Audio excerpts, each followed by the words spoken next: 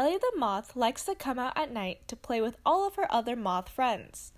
They especially like playing near light because bright lights are really pretty and warm. You can also find Ellie and her friends near things like lamps, streetlights, and the reflection of the moon on the lake.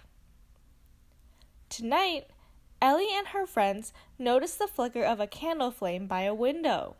They are so intrigued by this candle flame, so they decide to fly closer and closer until all the moths are circling the flame, but trying not to get too close in case they get burned.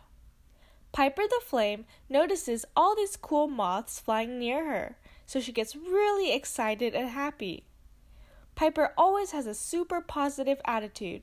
Flickering back and forth with joy, Piper loves when Ellie and her friends come out to play. However, one candle was not enough for them to play with. Nina, the candle wax, always sticks by Piper's side. Together, they are an inseparable team since Piper needs Nina in order to keep shining. However, Nina is pretty indifferent about the moths. She really couldn't care less about whether Ellie and her friends come out to play with Piper or not. Together, Ellie, Piper, and Nina are a happy trio. Ellie gets to play around Piper, and Nina is happy to see that Piper is also having a good time. Everything is perfectly balanced, as all things should be. Ellie notices that on the far end of the table there is a menorah. Ellie realized it was Hanukkah, and the menorah had a total of nine candles for her and her friends. Ellie has eight other little moth friends with her tonight.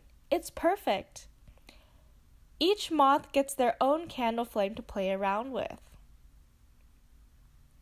In this story, Ellie represents an electron, Piper represents a proton, and Nina represents a neutron.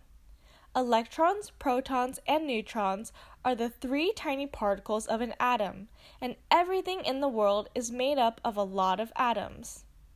An electron is negatively charged, a proton is positively charged, and a neutron has no charge since it is neutral.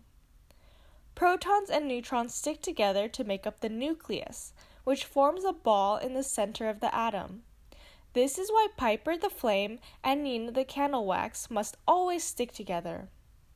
Electrons are attracted to the positively charged nucleus since opposites attract.